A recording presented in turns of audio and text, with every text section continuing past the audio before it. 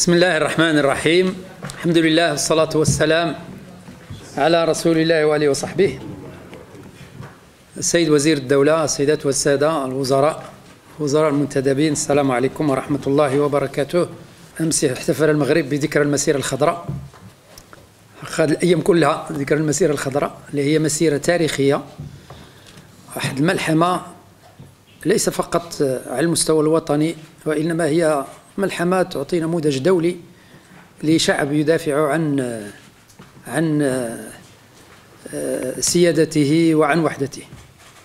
وجاء خطاب جلالة الملك بمناسبة هذه الذكرى الأربعة والأربعين للمسيرة الخضراء باش يأكد الموقف الذي أكده جلالة الملك باستمرار والذي هو موقف الشعب المغربي قاطبة في هذه القضية الوطنية الكبرى.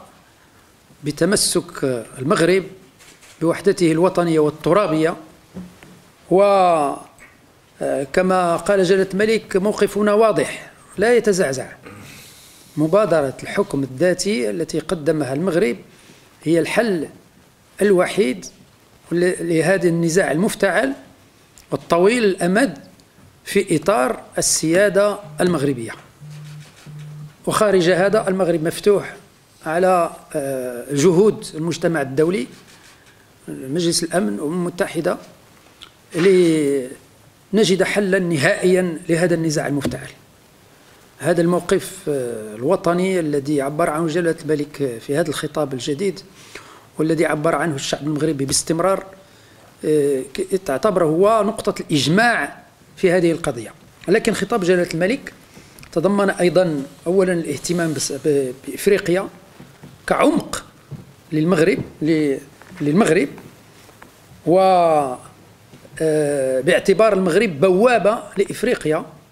وهذا يعطي بعد للعمل الذي يقوم به مختلف مؤسسات البلد سواء كانت رسمية أو كانت في القطاع الخاص أو كان المجتمع المدني أو كان غيره لإعطاء الأولوية في علاقاتنا مع إفريقيا مع الشعوب الإفريقية مع الدول الإفريقية.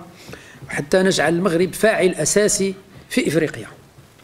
الالتفات الثالثة لجلالة الملك في الدول المغاربية.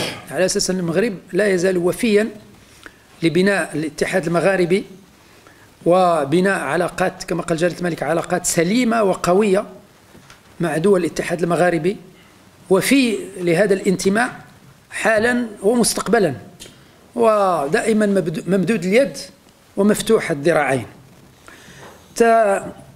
تضمن الخطاب الملكي أيضا التفاته في فيما يخص الجهوية المتقدمة على أساس أنه الجهوية المتقدمة والتي تهدف بالأساس إلى إعطاء مختلف الجهات مكانتها في التنمية الوطنية والوصول إلى توزيع عادل للثروات بين جميع الجهات المملكة. وحتى تكون هذه الجهات جهات فاعلة قوية منسجمة متكاملة فيما بينها تستفيد على قدم المساواة من جهود البلد في البنيات الأساسية التحتية وفي المشاريع الكبرى. ومن هنا اعلن جلالة الملك جزء من هذا وهي التفاتة نحو جهة سوس ونحو الأقاليم الجنوبية. لكنها هي في الحقيقة إشارة إلى المضي قدما في بناء هذه الجهوية المتقدمة المتوازنة لجميع جهات المملكة.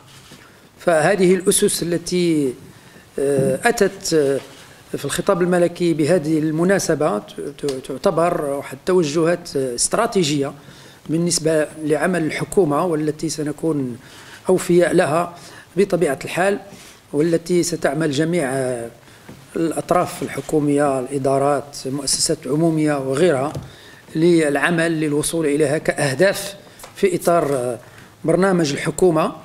وبطبيعة الحال بغيت نهني الجميع على مختلف الإنجازات اللي تمت في هذه المرحلة الأخيرة وخصوصا هذا التقدم ديال المغرب فيما يخص مؤشر ممارسة الأعمال اللي هو كيلزمنا باش نعاود نطوروا البرنامج ديالنا في السنة المقبلة برنامج ديال 2020 برنامج ديال 2021 نحو أن يتبوأ المغرب.